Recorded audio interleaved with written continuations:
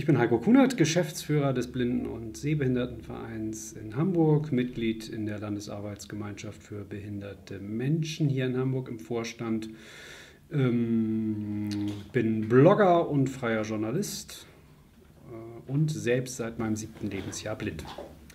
Bei meinem Vortrag im Juni wird es vor allem darum gehen, äh, praxisnahe Tipps zu geben, wie eine Veranstaltung blinden- und sehbehindertengerechter werden kann, wie man sich für unseren Personenkreis öffnen kann. Manchmal fängt es schon damit an, dass ich mich äh, auf einer Website gar nicht für eine Veranstaltung anmelden kann, weil die Website überhaupt nicht barrierefrei ist und ich die mit meiner Hilfstechnik gar nicht bedienen kann. Und wenn ich dann in einer Veranstaltung sitze, gibt es äh, das Problem, dass äh, die Präsentation vielleicht sehr visuell geprägt ist, Dinge an die Wand geworfen werden, die äh, sich mir nicht erschließen, äh, bei denen der Redner vielleicht sagt, wie Sie hier sehen, ähm, bla bla bla bla bla, ähm, dann sehe ich das nicht und dann fehlt mir der Bezug zu dem, was da referiert wird. Ähm, ja, solche Barrieren gibt es für uns und ich hoffe, dass ich im Juni bei meinem Input ähm, ein, ein wenig dafür sensibilisieren kann, welche Barrieren es gibt und äh, wie man diese Barrieren abbauen kann. Also was, was ich noch überlege, was ich aber jetzt vielleicht im Video noch nicht versprechen sollte, weil ich nicht weiß, ob es thematisch so richtig passt. Was eigentlich immer ganz cool kommt, ist, wenn man mal so kurz vorführt, wie das hier so mit dem Rechner funktioniert und so.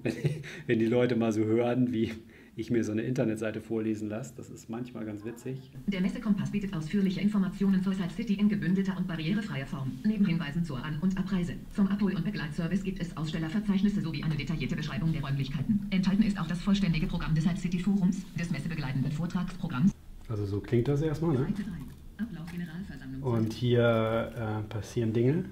Unten auf der sogenannten Breitseite. Da poppt der Bildschirminhalt so zeilenweise immer in Blindenschrift auf. Alternativ, wenn ich Twitter, geht das auch mobil. Es gibt ein, ähm, eine sogenannte Screenreader-Software. Ähm, das ist eben eine Software, die einen Bildschirminhalt so umwandelt, dass er eben mit Sprachausgabe oder Breitzeile ausgegeben werden kann. Wie man sieht, sieht man nichts, ne? aber man hört was. Ich habe 17 neue Mitteilungen bei Twitter. Äh, ich kann das auch langsamer stellen.